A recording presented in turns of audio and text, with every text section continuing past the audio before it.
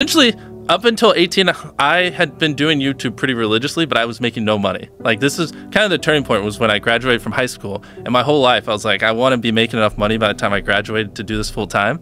And I wasn't. I was still only making a couple hundred bucks a month. So I graduated high school, and my mom was like, either move out or go to a community college. And I didn't have enough money to move out, but I really just I hated school with a passion.